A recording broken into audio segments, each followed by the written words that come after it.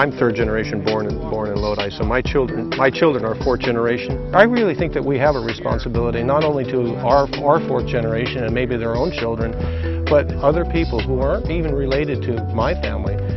I think it's my responsibility to make sure that it's transferred in, in better shape than when I, when I got it. And the only way it will be better shape is if we learn and we continue to, to gather knowledge and, and we move forward.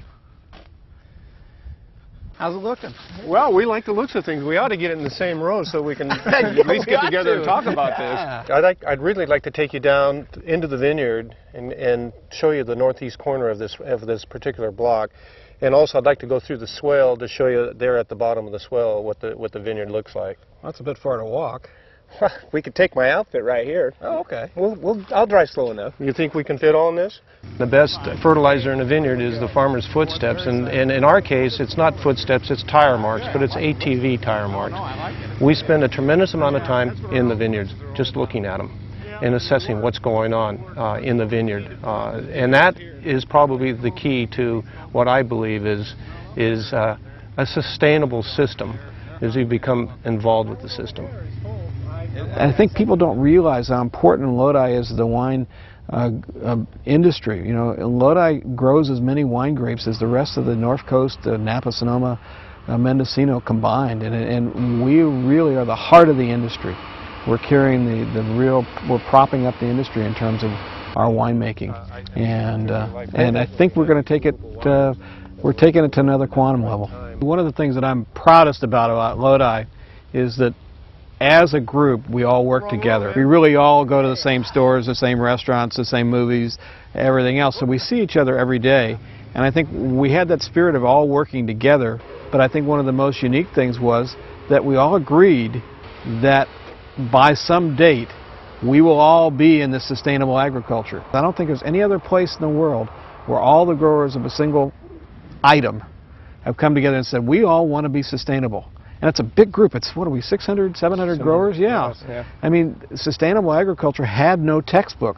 You know, even at Davis at the time, at the University of California, they didn't have a textbook. They didn't even have a, anything about that. I think it's a mind shift. Uh, I mean, I think the first step to sustainable uh, agriculture is to uh, realize that there are other ways to look at the way you practice your business.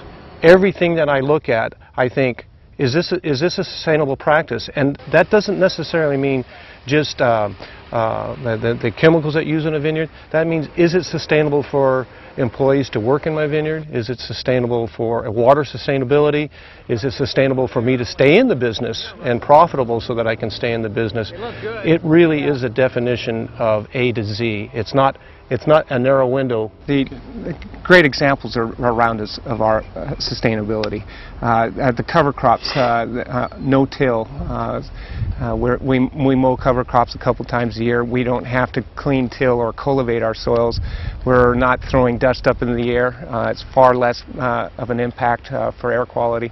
Uh, looking at the vines, all this is being irrigated by drip irrigation systems. Drip, drip irrigation allows us to, to give measured amounts of water to the vine and, and distribute it throughout the irrigation system uniformly so that one vine will get the same as the next vine as opposed to uh, you know, flooding an area and, and the front of the row will get the, the most water, the back of the row will get the most water and the middles probably won't. So we use our water more efficiently. That's a, definitely a, an advantage to be able to do what we, what we do here. Nine times out of ten we let Mother Nature take care of it. With the cover crop a lot of the beneficials will come in, take care of some of these problems. Uh, a good delta breeze like behind us and a warm day is probably the best cure for a lot of our, our fungal diseases. We're sitting in a vineyard right now that um, if my father was farming it at the time, it would look completely different than it does today. And the, and the changes that are in the vineyard today not only affect the quality of the wine, but it affects the quality of the environment that we're growing the wine in. And so we're, we're seeing uh, different trellis systems, we're seeing different irrigation systems, we're seeing cover crops, we're, we're, we are really practicing a, a, a saying that we like to live by is less is more. We live in the vineyard. Uh, you and I and we all live in the same Absolutely. vineyard and so you know when our wives and our children are playing in the vineyard you want them safe and so I think part of it is just that whole concept of you know keeping things and a, and a sense of balance. And I think sustainability is that sense of balance. Lodi's home. Lodi's family. Lodi's roots. And Lodi is the best place that you can possibly buy a bottle of wine from. Livable, lovable Lodi.